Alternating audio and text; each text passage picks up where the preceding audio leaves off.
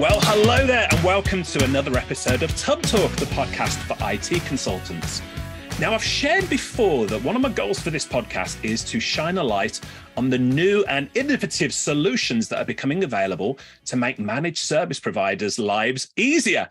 Well, today I'm speaking to two gentlemen who have a track record of helping MSPs to succeed. Derik Belair and Gavin Garbutt are the co founders of Augmentt, a SaaS security management and software solution. Now, if their names sound familiar to you, it's because prior to founding Augmentt, Gavin and Derik were the people behind N-able, the company that introduced the first RMM or remote monitoring and management solution for IT providers and promoted the concept of managed services all the way back in the year 2000. Now, N-able was sold to SolarWinds in 2013. Derik has over 20 years' experience in the channel in a senior leadership role and has worked with thousands of MSPs across the globe. And Gavin has been a founder of seven successful startups and is responsible for corporate governance, strategy, and corporate financing. And industry accolades include Deloitte Canada's Technology Fast 53 years running, Deloitte Fast 500 for North America. CRM Magazine three time has three times named Gavin one of North America's top 25 most innovative and influential executives uh, of the year. Phew, I'll take a pause there. These are two men who know managed services inside and out. I'm honored to have them join us today. Derik and Gavin, welcome to Tubb Talk. Richard, thank you very much for having us. Um, it's fantastic. I get to have my morning coffee and be with you and Derik. This is, couldn't be better it's not often I'm out of breath given the introduction, the amount of accolades you two gentlemen have had. So it is truly an honor to have you here with us today. I guess, uh, Gavin, I'll turn to you first. Where are you joining us from today? I'm in a little town called St. Andrews, New Brunswick, just north of Maine. And uh, on the ocean, we just had 10 centimeters of snow. It's beautiful and sunny. And uh, this is, uh, it's, a, it's a nice spot to be yeah, I can well imagine. Derik, where are you joining us from? I'm actually in uh, in Ottawa, so we had 15 centimeters of snow last night. That beats Gavin's 10. Not that there's any competition. I'm just saying. And uh, but yeah, we're in our headquarters here in Ottawa and uh, trying to stay warm.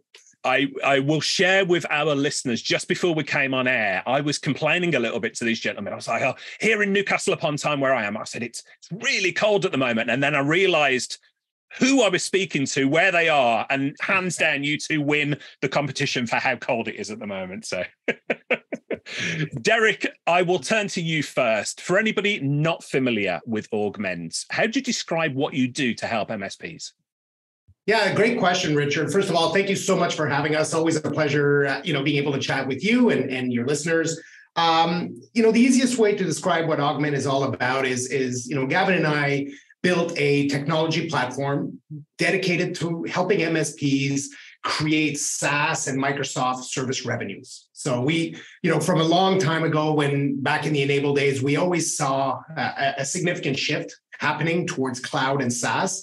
And we always felt that it was an area of massive amount of opportunities for MSPs. You know, everybody was moving towards cloud-based applications and the need to secure these application was something that was top of mind for, for everybody from the msps to the customers so our goal was to help the way we did in the N-able days was to help our partners by creating innovative and powerful technology platform and help them be able to drive SaaS and Microsoft service revenue in a very profitable, very easy model. And that's that's what we're dedicating our entire our entire business vision is, is really helping MSPs build that security service revenue. Yeah, makes a lot of sense. And I want to dig more into what Augmentt does, how it helps MSPs. But before we get there, Gavin, I've got to ask you know, I, I mentioned you founded a lot of startup businesses. Where did the idea for Augmentt come from initially? Well, eh, to to be honest with you, it, it, was kind of going to be the next iteration of N-able. So mm. before we sold N-able, we had uh, investigated, designed, and we were we were going to basically rebuild the platform uh, from scratch and add in SaaS security and SaaS management, and, and of course Microsoft uh, becoming a SaaS application. Um, so it was all that idea about the MSPs.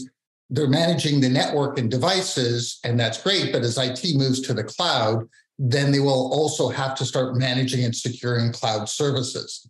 So um, the idea came from back then, and then the transaction happened, as you mentioned.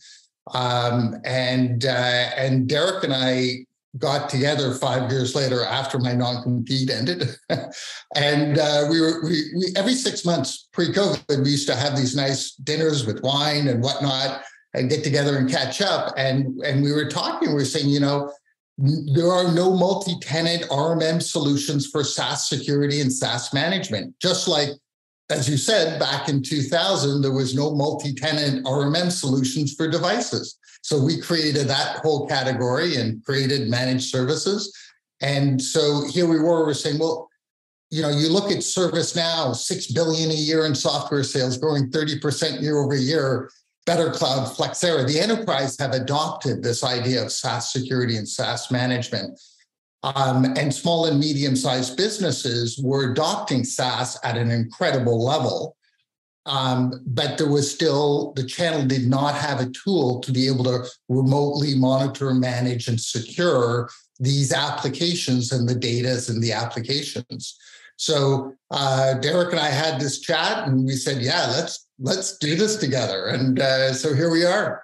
I love it. I mean, you, you've clearly got a track record of being visionaries and sort of looking a little bit into the future. You're like the Tony Starks of, uh, the MSP industry. But Derik, something I'm hearing more and more people speak about now, and it's a, it's an idea or a, a catchphrase that I only came across fairly recently: the concept of shadow IT. Yeah. What is shadow IT and why is it a challenge for MSPs? Well, it's, it's interesting because the concept of shadow IT has been around for a long time. And, and, you know, in the old days when everything was connected to the network and protected by a firewall, shadow IT really spoke to people bringing in devices from home and, and connecting it to the network. Or, you, you know, it conjures up ideas of somebody sneaking in a flash drive in the sole of their shoes to try to connect, you know, illegally to the network. Um, what's happened with the move towards SaaS and cloud, what happened is, is technology, specifically software, became very, very easy to adopt. You know, anybody with, with a browser could log into any application, sign up for anything, and start moving corporate data around. So as we started looking at the security problem or the security opportunity that SaaS presented, you know, we, we were faced with a problem when we talked to MSPs and their customers that they really didn't know what were the applications being used and by whom and what for. And, and when you think of the old RMM days, uh, you know, the first thing we always told partners to do is, you know, you run a network discovery, find out what is connected to the network, what are the devices, you know, have a system of record of what are physically connected and, and being used by the employees.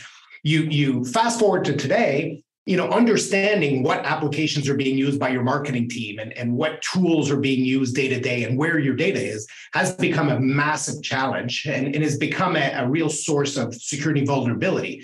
And the way that we see it is, is you as an MSP or you as a customer, if you really do not know without the shadow of a doubt what is being used by your employees and when and how and who are the administrators and where your data is, you know, that is a huge security blind spot. So from our perspective, Shadow IT really talks about the understanding and, and dealing with the fact that the world has changed. People will be using applications and being able to build that system of record, being able to, to tell either your auditors or your security team, these are the approved application and this is who is using which application and how.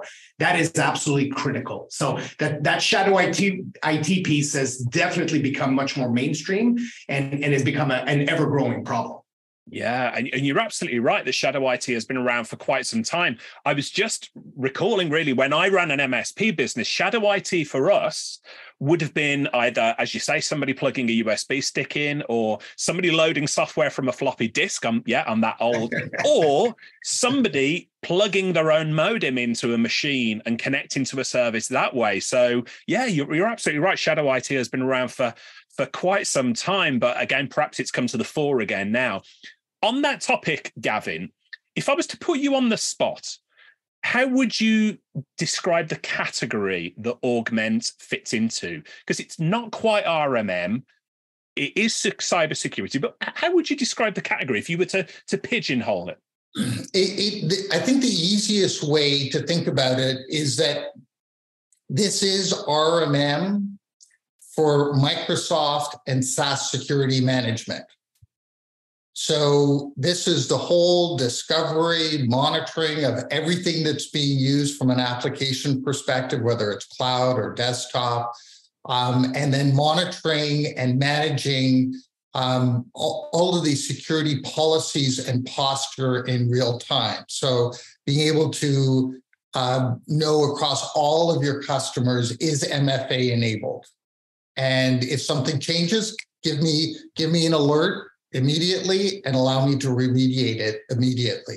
Um, are my passwords set up properly? All, all of the security policies and postures that your clients should have. And the MSPs have not been able to do that historically because they would have to go tenant by tenant by tenant by tenant by tenant to check it every you know month if they were lucky or but but they're too busy and they don't have the manpower to do this so this this automates that whole discovery, the configuration, the monitoring, the remediation, and the reporting of all of those security policies and posture. Uh, so, so this allows the MSP to really elevate their security practice to where it should be, where their customers actually think it is. Uh, and then, uh, and, and the whole idea is, you know, how do you it's back to the old days of managed services. A reactive technician can manage about 150 seats, a proactive technician can manage 250 seats, and a managed technician can do about 600 seats. So you, you understand what happens to your profitability in this. So we want to help them get to manage, and then we want to keep evolving that. And how do we get that to 2,000 seats per technician and really juice the profitability and the security practice of that managed service provider. Yeah. So talking to the point of security, Gavin, with, with the recent challenges, taking a deep breath here while we say this one, the recent challenges that RMM and PSA vendors have faced in cybersecurity, you much must have been watching with some degree of interest and maybe even like me with you know your hand behind your face looking through your, your fingers especially given you know your background in the industry uh, and we won't name any names here, you know, uh, but it is tough. And Augmentt, of course, built from the ground up for the new modern MSP. Uh, perhaps that goes some way to uh, to to making things easier for you. But what does cybersecurity mean to Augmentt today after your twenty odd years in in this industry? Well, I, am going to have to take my hat off to Derik and the team, to be honest, um, because it was uh, their their vision and their drive to one make us a SOC 2 Type 2 certified company at a very early stage. So it, it, implementing that discipline um, and having these audits happen to you um, in a very very meaningful way. Not only not forget the costs that's associated with, with it because that too is significant, but just to to invest in the in the people and the processes and the technologies uh, to make sure that your company and your applications and your service delivery models are secure um, i think is critical and on, quite honestly any msp who uses tools that are not certified either iso or soc 2 or whatever um, I, I, I think that's not prudent at all because they're not independently verified if if security is important to them as a business. So for us, um, and, and, under Derik's leadership, everything that we do is uh, security focused. Yeah, makes sense because MSPs have got the keys to the kingdom, essentially. You know, and if uh, um, they get breached, all of their clients get breached as well. So what you've said absolutely makes sense. And I hope this is the new standard of uh, MSPs looking to vendors and saying, hey, you have to have these types of standards in place before we'll do business with you. Well, Richard, I'll, I'll give you another example on that. Is that in in the U.S., uh, MSPs who use our product, uh, their customers get up to a forty percent discount on cybersecurity insurance. Right. So so you know that's that's how important we think it is it's not just you know for us and our products but how do we help our customers our msp partners deliver advanced security services to their customers where the, the end customer actually gets up to a 40% discount on their cybersecurity insurance because they're more secure as a result of our products. That's fantastic to hear. Derik, I want to pick up on something Gavin said. He mentioned that phrase multi factor authentication. now, I think I speak for most MSPs listening to this. We've got a love hate relationship with that. Uh, with MFA, with two factor authentication. In fact, I usually hear a groan from MSPs because they know it's necessary, but my goodness, it can be laborious to manage, is probably the best way of putting it. What are your thoughts on MFA for cybersecurity? How does Augmentt help from that perspective? Well, Richard, it's funny that you say love hate because that's exactly the words I was going to say. Like everybody listening to this, we have a love hate relationship with MFA. Um, I mean, listen, if, if as an MSP, as a customer, if you're going to only choose to do one thing to help protect yourself and, and your data and your organization, it's MFA. MFA is, is the number one thing. I think Microsoft says that people, you know, MFA can can prevent 99.9% of the attacks. It's the number one easiest thing for any malicious actor to to penetrate is non-MFA accounts. So you know, we have a, a love relationship with it because people understand it. The hate part is that MFA is very intrusive. No user gets up and think, "Oh, great! This application now enforces MFA. Fantastic!" and it's that extra barrier towards getting, you know, to that destination. Um, what you said is very accurate. The problem with MFA today is that you know it's it's it's enforced as an all or nothing and it, it is very intrusive um, and it's very difficult to manage and difficult to implement. And and unfortunately what happens uh, not in our organization of course but i hear of other organization you know the executives say listen you got to turn it off for me. I can't deal with this. It's fine for the employees but not for me. And then it starts to get turned off and then next thing you know that's the account being attacked. Um, you know we we take mfa um, you know, we take a, a, very proactive approach to it. Um, when we talk about Microsoft security, MFA is the number one thing that you can do to protect your environment. And, and there are so many um, interesting ways that you can implement MFA in a non-intrusive manner. And that, that really comes down to, you know, what are the policies around MFA? Is MFA on for everybody? Is it on for certain type of, uh, of accounts uh, that have, you know, enhanced um, uh, admin capabilities within the application? Is it on if you're using a corporate device that is protected, but uh, not if you're using another device, or potentially it's it's not turned on uh, if you're on the corporate network, but it does get turned on if you're outside the network. All of those nuances is what um, MSPs can really work with their customers to implement meaningful MFA policies that will uh, stick the test of time, um, and also being able to to understand not just building MFA policies, implementing it, but monitoring whether or not it gets turned off. Because the MSP goes to great lengths to make the customer's environment secure and protected and implement very meaningful policies like MFA. But the minute that gets turned off, the minute something happens, somebody travels overseas and, and can't have MFA turned on, that's when everything starts to fall apart. So the way we say it to MSPs is is work with your customers to understand the level um, of, of security risk they're willing to, to, to, to to handle, build an MFA policy that is enforceable, is meaningful, but will actually work for those customers. But above all, monitor it constantly. Make sure you're always looking after it because it is one of those things that will grow over time. And, and it is a huge source. You know, the, the part that I love about it is as an MSP, it is a huge source of revenue opportunity, both project work for implementing it, uh, ongoing reoccurring revenue for monitoring it, but it will be the thing that will protect the customer. And if you do it properly, it, it doesn't have to be something you hate, even though a lot of people do hate it. yeah, that absolutely makes sense. And I often talk about MSPs looking for opportunities to lower their cost of support and of course that leads to increased revenue you know mfa is obviously a really good way of doing this because you've got mfa in place as you say it, it, it mitigates a lot of problems uh, but the, the, the laborious nature of managing it, you know. So I think Augmentt. In fact, I spoke to an MSP just last week and mentioned Augmentt and said that one feature alone was, you know, worth worthy of them taking a look at the product. So um, Gavin, I want to turn to you for a moment. Uh, you know from experience that MSPs tend to be very time poor. That's probably a generous way of, of describing the fact that they often uh, are running around chasing their tails. So when a tool like Augmentt comes up, and there's going to be lots of people listening to this and say, this sounds really interesting to us, we can see how it's going to be valuable to us. But where on earth am I going to find the time to deploy, to manage, to use this product to get to, to learn how it works as that? So tell us a little bit more about what does the process look like of deploying Augmentt? How time consuming will this be for an MSP?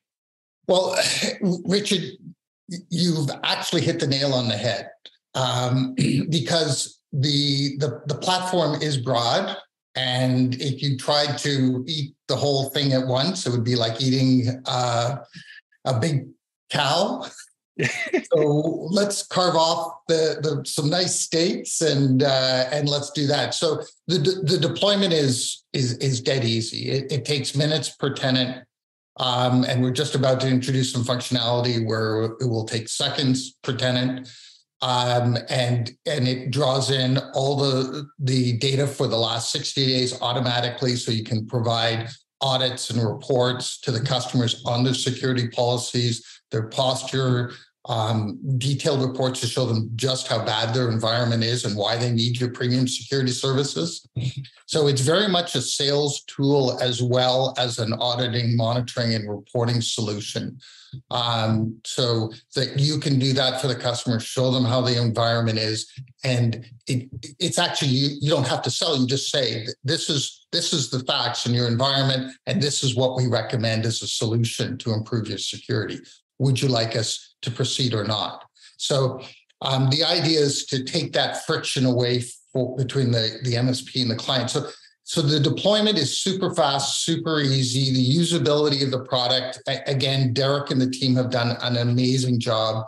The usability, you like you can download, get 100 free licenses, uh, download it, set it up, use it, commercial licenses, set it up in a bunch of customers, and, and you're off and running. It, it, it's it's the whole idea is simplicity. You know, the KISS principle: keep it simple, stupid, um, and and that's that's what the channel loves is a product that they can deploy and use right away. And the first thing that I, actually I recommend MSPs that they do because the biggest pain point for almost all MSPs is multi-tenant MFA management. Mm-hmm. Back to that point. So my point to MSPs is look, roll out uh, the secure module and you'll you'll basically instantly have multi-tenant um, MFA management and reporting and monitoring and remediation across all of your clients and you'll also have collected all of the security data automatically. And then you can go in and provide them with audit reports to show them just, but, but you should, back to Derik's point, fix the MFA problem. And you can do that instantly and easily. This is no longer a hard thing to do or a problem. Just do it. Here's the technology, do it, built in processes, everything. And then go back with the audit reports and show them all their security policies, where they have weaknesses, and which ones you recommend that we start working on to improve. So it's a it's a very elegant, smooth process to help scale the MSP's service practice, well, in, improve their security practice, scale the technicians' capabilities, and then help the customer with their security policies and posture. Yeah, makes sense. And I will reiterate what you said about it being a beautiful, easy to use interface as well. So well done there, Derik and team, because uh, your colleague George Smith and I, we sat down recently and we did a video demo with a screen share and everything.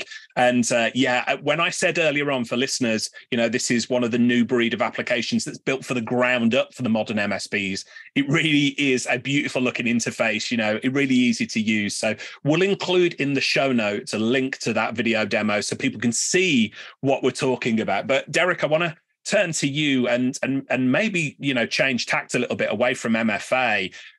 Talk to us a little bit more about the SaaS application discovery features in Augmentt. So, in your experience, are MSPs even aware of all the SaaS applications that their clients use? And what about small businesses themselves? The, are the business owners aware of what's going on on their network? Well, it's it's really interesting. You know, I, I treat all of our products like children, and and while you love them all equally, you always have kind of one that you feel a little favorite. And I love this Discover, and I love it because of the conversation that it engages with MSPs and the customers. The way that Augmentt Discover works is it it really gives you very very quickly uh, a view of every application used by your employees, whether they are being used uh, as cloud application or whether they're desktop apps like Zoom, even though it's a cloud app, it's used uh, right. locally on the desktop. And uh, and it gives you that that really quick view of what are the application, who's using them, the frequency, um, and it really gives you that that insight. Um, now, I, I, love talking about it with MSPs or customer because the reaction is always the same. I always start with a bit of a softball of like, how many apps do you think you're using? Take a guess.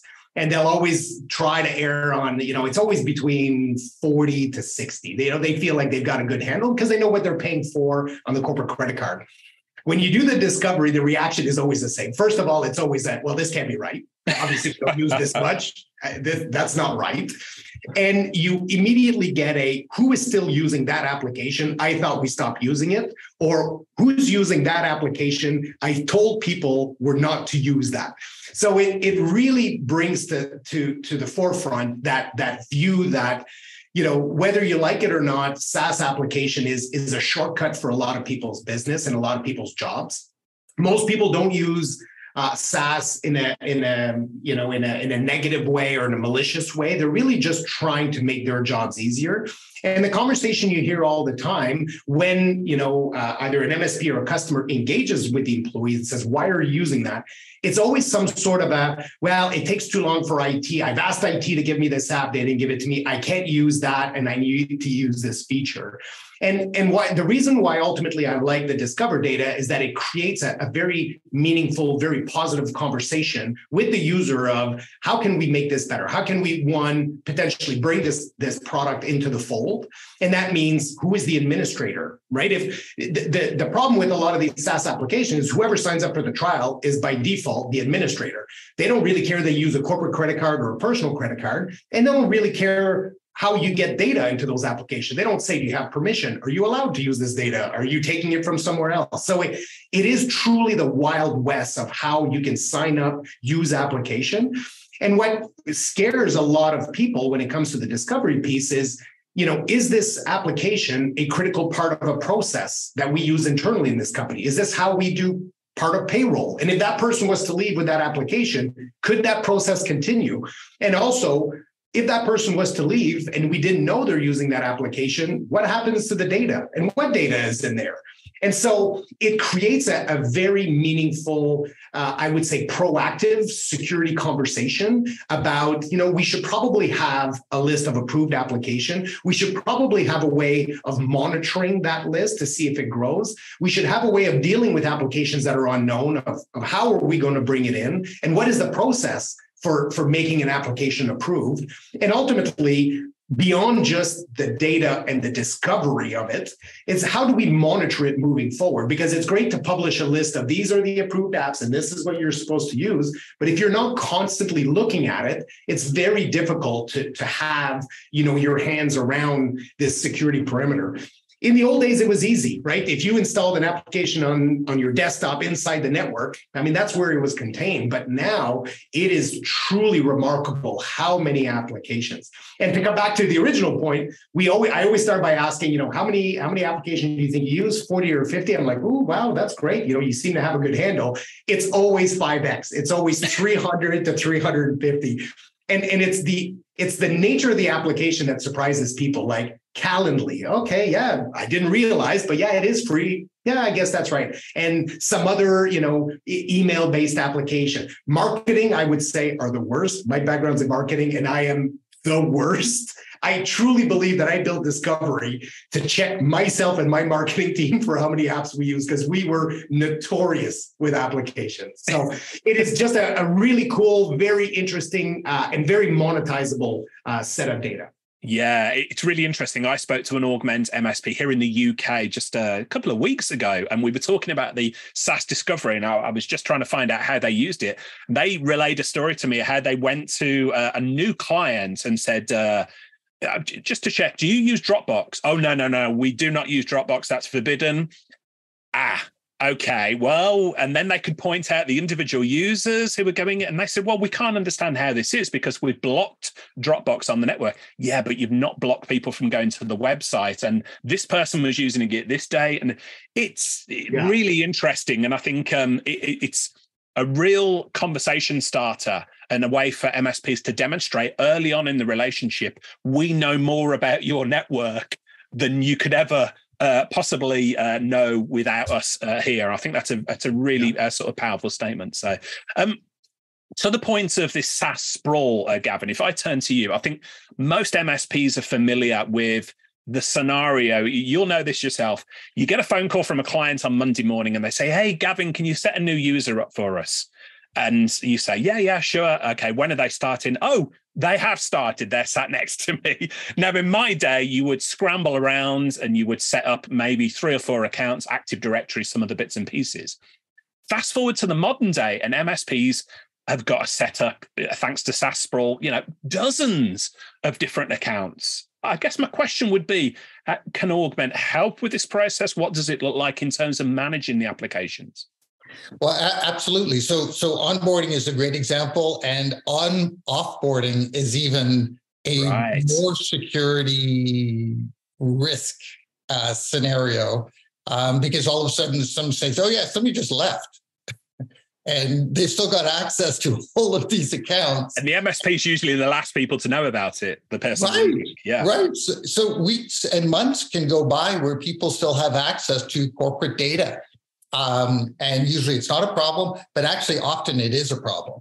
And and so um, automating that onboarding and offboarding is something that Augmentt does um, in its administration engage module. And the whole idea is uh, we've built in all the workflows, the policies, and everything. So you can have a, you can li- literally have an administrative level person or a level one technician who can be doing onboarding and offboarding, and it takes like two minutes uh, to do somebody. So that whole idea of of creating you know productivity gains and lowering the cost of the service delivery by having more junior people able to do it and even in our product we have granular user permissions so you can have your end customer they may want to do their own onboarding and offboarding and um, password management et cetera and they can get permissions just for those tasks to do that internally if the MSP would like, and then the MSP can be the level two or level three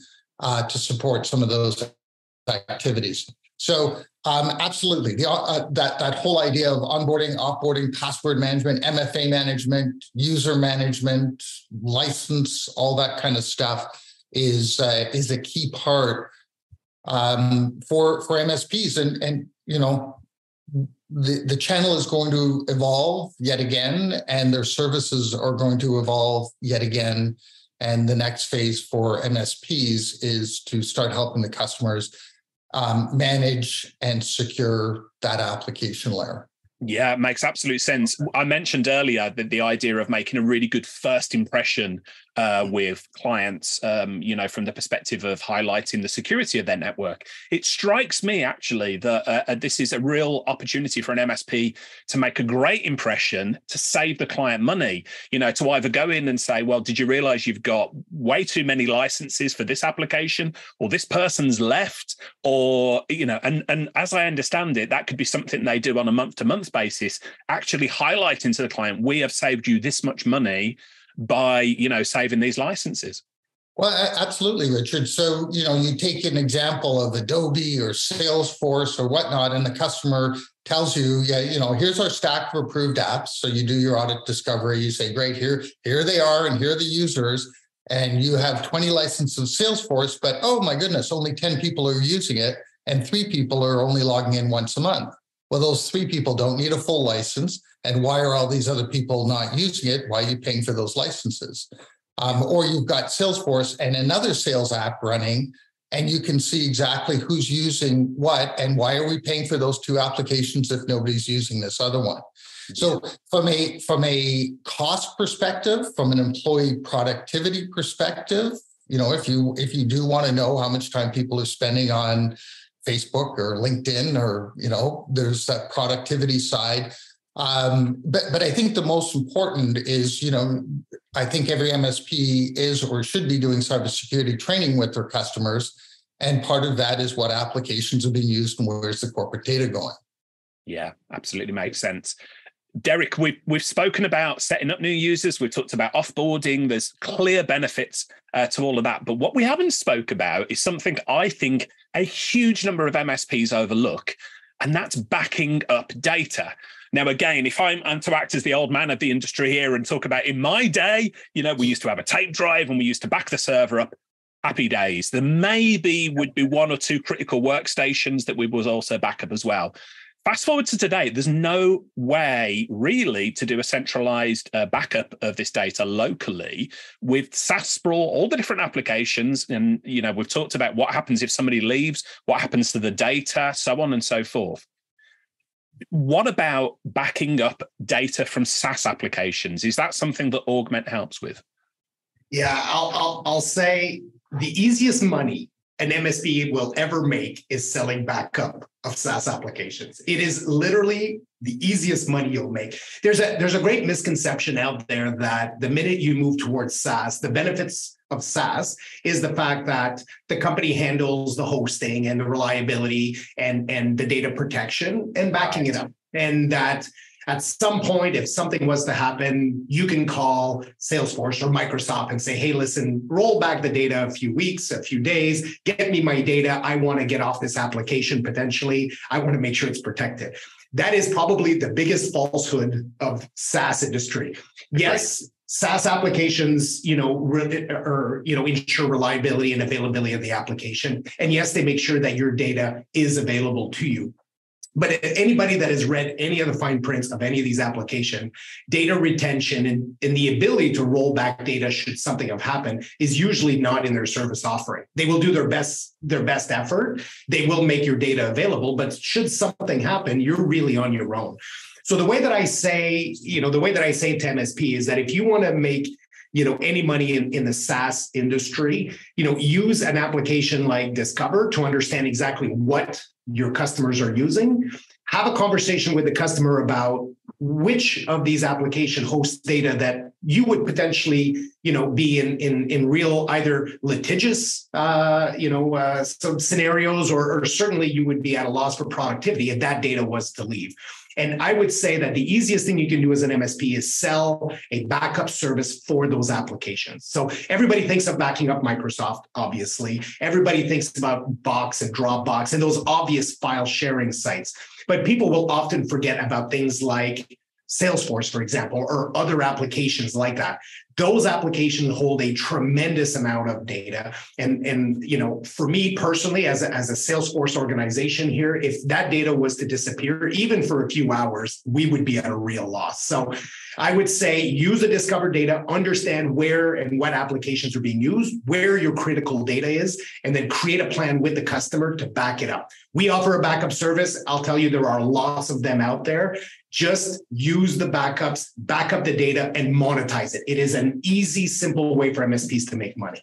Yeah, couldn't agree more. And for any MSPs listening to this and saying, as you mentioned there, that they assume that Microsoft, Google, or whatever are looking after the backups. That is true to a degree, but I challenge any MSP to go to Microsoft, go to Google, whoever, mm-hmm. and say, can we restore this email or can we restore this user or we need whatever it might be? At best, it takes forever to get to that. And at worst, it simply doesn't happen. And when you've got a client banging on your door and saying, we need this data now, that is an issue you do not want to face. So couldn't agree with you more on that one, Derik.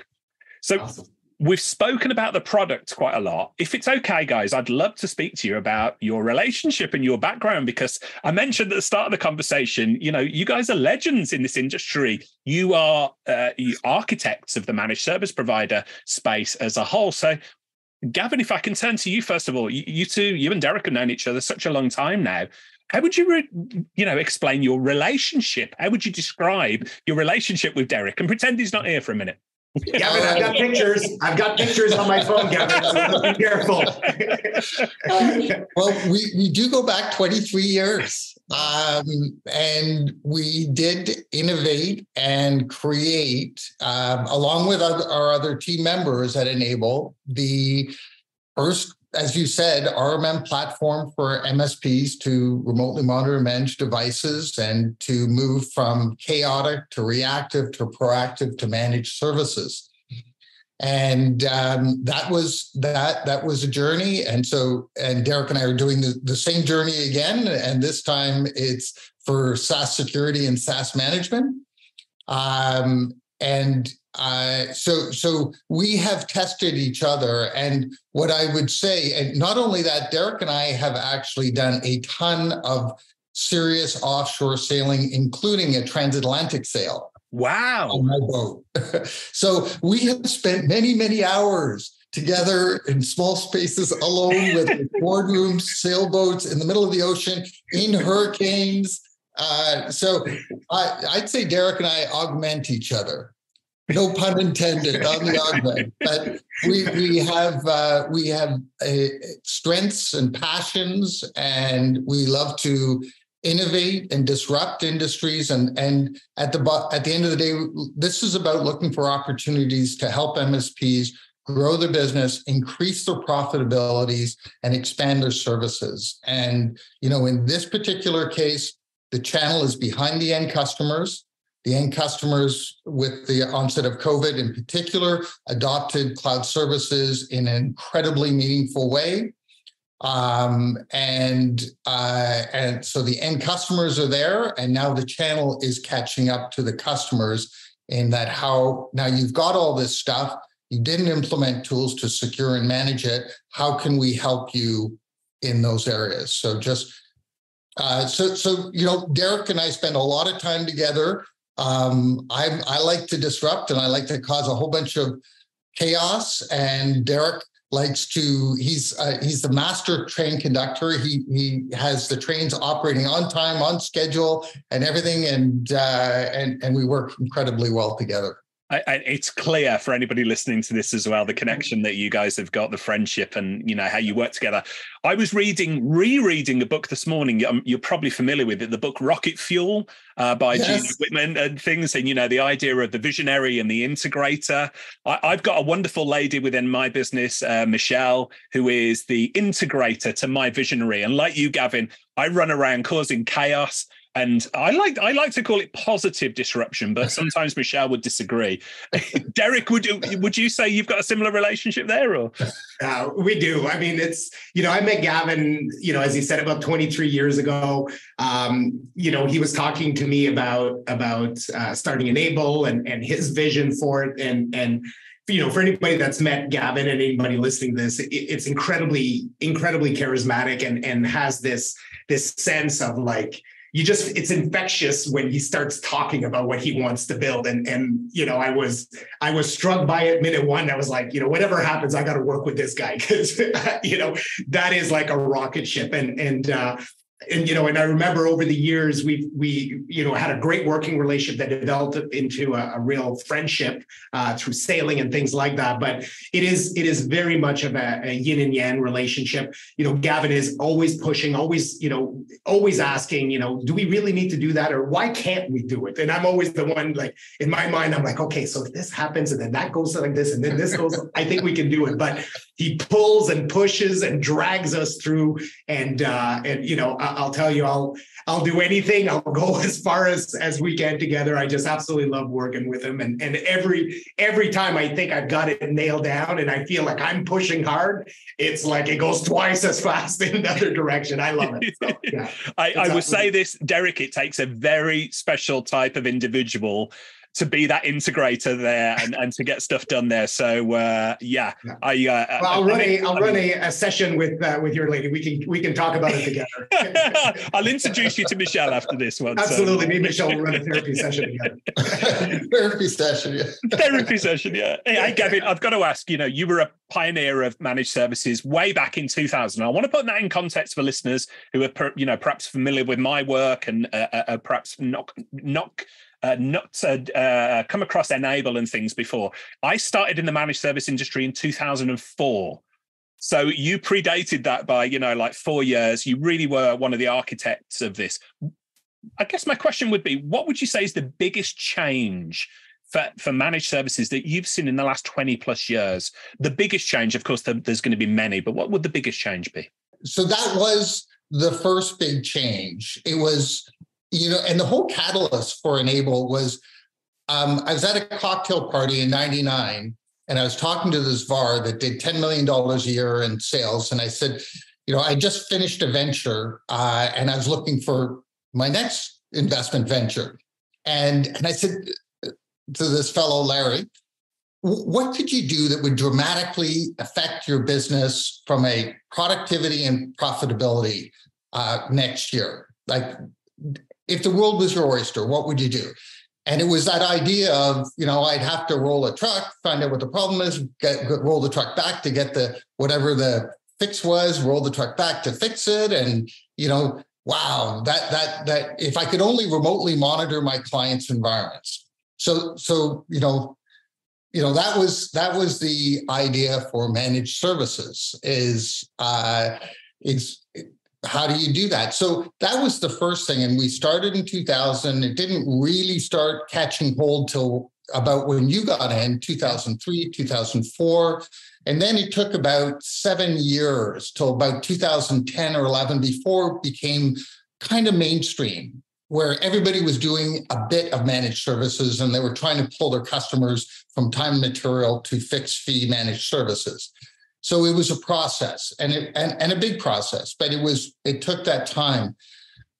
We're going through the same catalyst again right now, where again, as we mentioned a moment ago, customers have like the, the network, while still important, there's not a lot of data back there. It's in the cloud now. And since COVID, everybody's like SaaS applications have grown by 700%.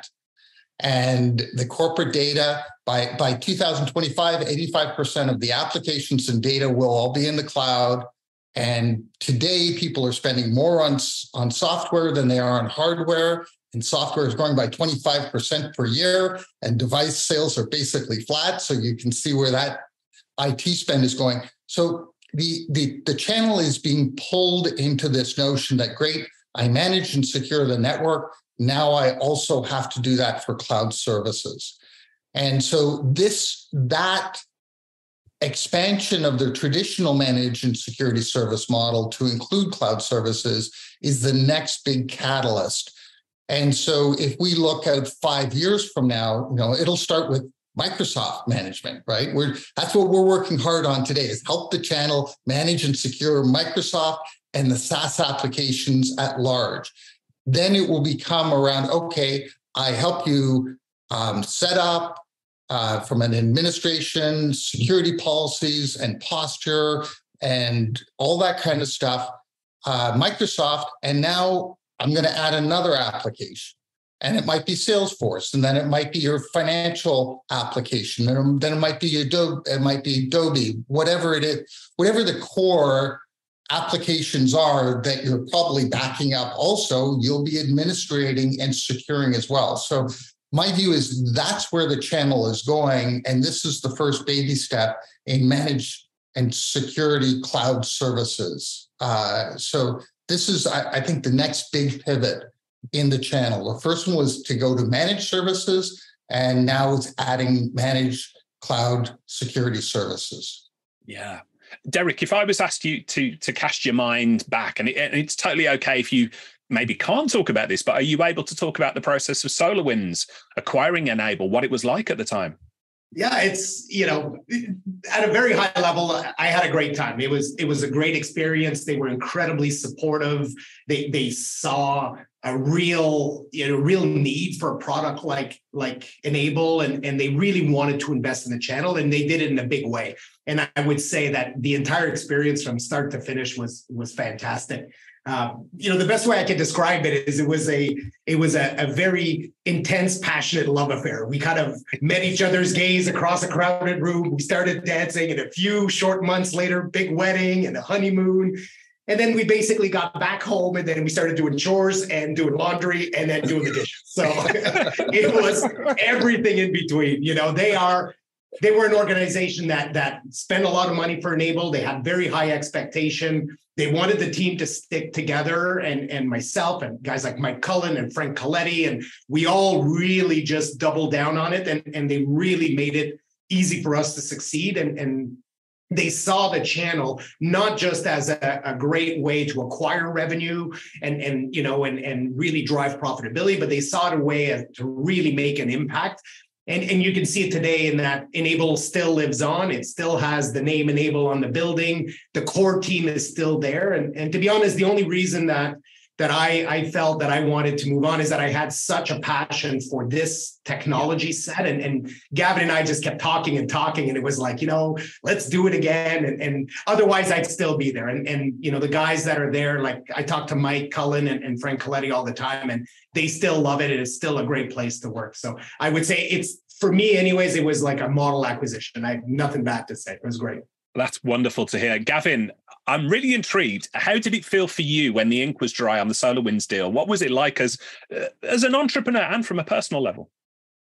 Well, it, it was um, you know it was exciting for sure. Uh, it was it was a good transaction. We um, you know from hello to close was 45 days. So wow. th- this was um, not a simple transaction. Uh, because of all the products and technologies we had and and team members, uh, but it, we we were incredibly organized as a business and organization. And um, as, as, Derik and I are today, we were crazy metrics driven and measured everything. So the process was was really really good and smooth um, and you know bittersweet. It, it's it it was my baby. Yeah. Uh, but I we we had built such a strong management team that I was able to to hand the business over to SolarWinds, and I departed. Uh, I retired and actually went on and did uh, business with our eldest daughter, uh, which was great, great fun. Um, and uh, and and and the business lives on today. So I, you know, it, it was uh, it was a proud moment to have built the company to that level and to have passed it on uh, and the management team that can continue to run the company and build it into something great. Oh, that, that is wonderful to hear. Derik, I'm intrigued as well. What would you say, looking back over your time in managed services, what's the biggest lesson that you've learned from uh, being in the managed service industry? Uh, there's so many. yeah. but, right. Let's narrow it know, down to one, perhaps. absolutely. I, I, get asked a lot by by either entrepreneurs that are looking to build products for the MSP space or or enterprise companies looking to make the jump. And and I tell them all the same thing is that MSPs don't need more products. Like at the end of the day, right. they have lots of product. They are small business owners with, with an incredibly difficult task ahead of them because they're not a 50, 60, 70 person organization. A lot of them are five, six, seven people managing 100 customers. They have a big job. And, and the last thing they want is to bring on a new product and train their techs and change the way they do business.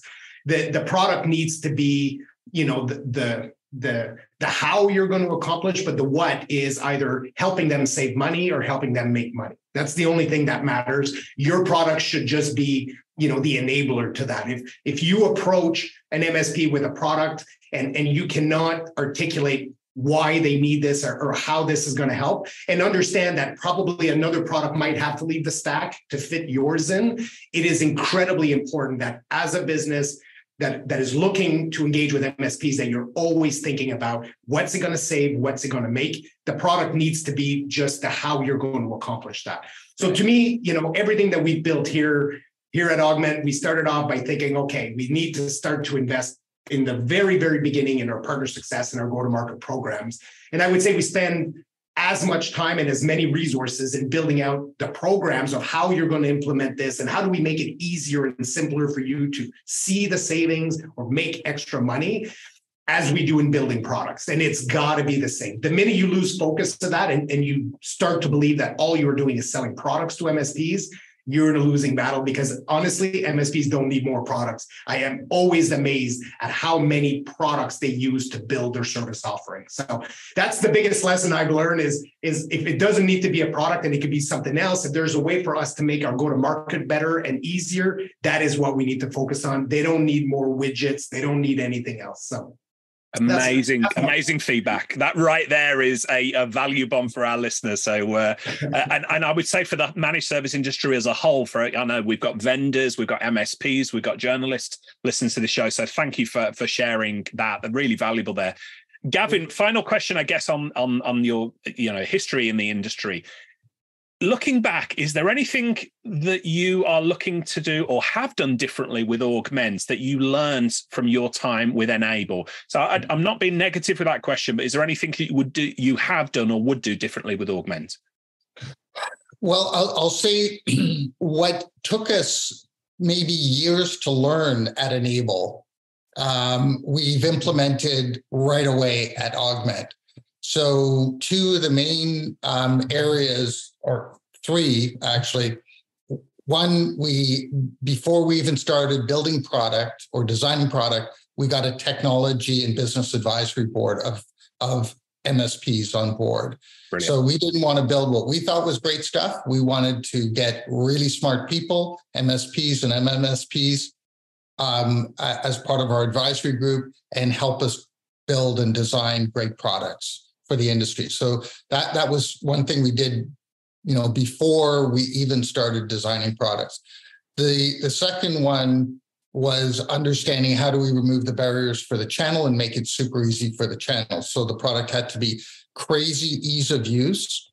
Um, and then we we also needed to have a freemium model so that we removed the initial pricing barrier for the MSP. So here's 100 licenses, knock yourself out. They're full commercial licenses. Use them to make money, et cetera. And then the third component is what we call Augmentt Academy, um, and at N-able, we did N-able University, but it is all the go to market program. So here's how you market it, here's how you sell it, here's your pricing, here's your slick, here's your web content, here's your webinar uh, content and templates, et cetera, et cetera. So the, as Derik was just talking about, that whole enablement. So yeah. those three areas were, um, and that really rolls into how do we make our partners successful? And if we make our partners successful, then we will be successful. And and and that is our, our mantra as an organization. It's not how do we make money off you, it's how do we help you make money and save money and we'll all be successful together because if i'm if we're helping you do that then you're going to come back and you're going to want to do business with us more and more that right there is absolute gold, Gavin. And again, you know, Derik just gave value bombs for, for for anybody listening, including vendors. What you've just said, I think, should be the playbook for any vendor within the managed service market because you can have the best technology in the world, but if the MSPs don't know how to sell it to their clients, it's just going to go nowhere. So I'm I'm in awe of what what you've done with the Augmentt Academy on that because I think it's a, a just a marvelous step. Well, that's again Derik and team. I, I, I just throw stuff out and we discuss, and uh, and Derik makes it better and bigger and smarter. And the team does. I just take credit. well, you know, again, it's clear to anybody listening to this the you know the bond that you two have as friends, as as uh, as uh, co-founders of entrepreneurs together. This has been just an incredible pleasure. I, you know, I was saying to the team at the start of this week during our team meeting, they asked me, "What are you looking forward to?" And I said, "I'm looking forward to speaking to Gavin and Derik because genuinely, I've known your name for a long time. We've never had an opportunity to connect, so this has been phenomenal." So, as we come to the end of our time, I guess final question, and maybe I'll turn to you, Derik, in the first instance. What's next for Augmentt? What can we expect over the next 18 months? Yeah, so the next 18 months for us, uh, you know, a continued focus on on on our products, specifically on the secure module. Uh, we have a, a, you know a list of, of requirements that we've gathered from those thousand partners that we that we work with of, of everything they want to see. So very very aggressive product roadmap and continuing to to to help build out the platform and make it more meaningful from a security around SaaS and Microsoft. So that's number one.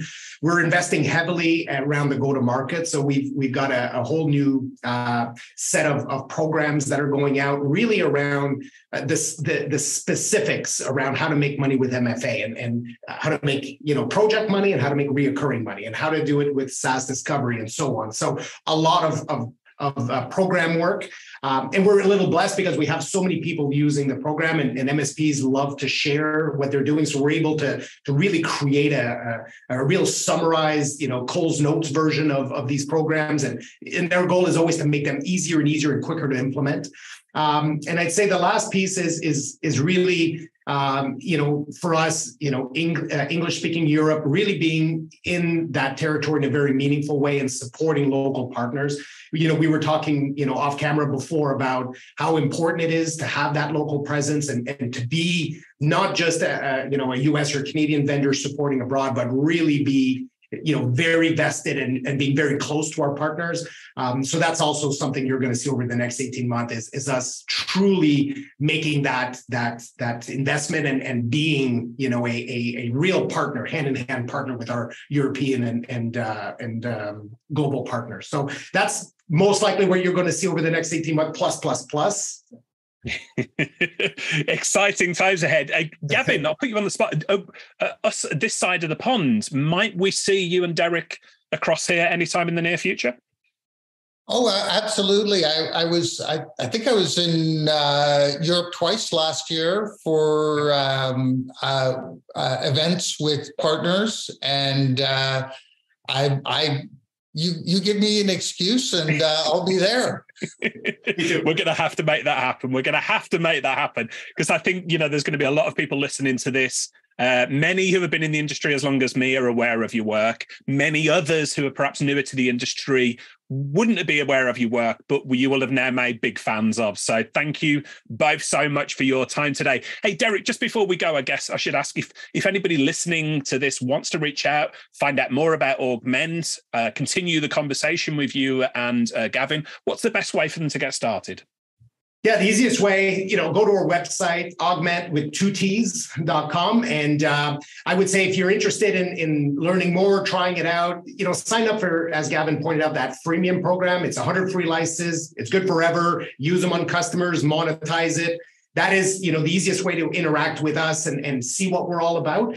Um, I, I know i seem like a pretty unapproachable person but i love talking to people one-on-one so i would say just reach out to me on linkedin or just email me. It's my first name dot last name at augmentt.com my email's on the website. Same goes for gavin. We're an open book. I love talking to msps so please reach out to me personally. I'd love to engage with you guys Oh, yeah, wonderful. I, hey, Richard, same for me. I, I mean, I, am connected with almost 8,000 MSPs on LinkedIn, and I welcome chats, communications anytime, all the time. Fantastic. And we will include in the show notes for this episode everything that Gavin and Derik have talked about their email addresses, the NFR license links, and we've actually got a landing page with the video demo for Augmentt on and everything else there. So please go to tubblog.co.uk and you'll find all the details there. Gavin, Derik, you've made my week with this conversation. This has been so much fun to speak to you both. Hope you've enjoyed it and thanks for your time.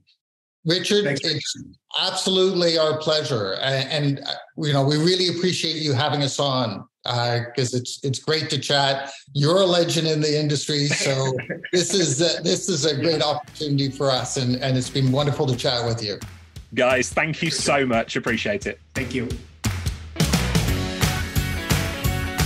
Hey folks, Richard here. Thanks for listening today. I know you've got a ton of options for who you listen to nowadays, so I really appreciate your support. Do you have any feedback on this episode? Ideas for future guests? Tweet me at Tubblog using the hashtag TubbTalk. I respond to every tweet and really appreciate your feedback.